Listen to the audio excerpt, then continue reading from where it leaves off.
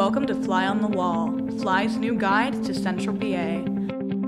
Our first installment takes you on a bar hopping tour of downtown Lancaster City and also introduces you to some of the stranger aspects of local history, folklore, and legends. Are you ready? Let's walk.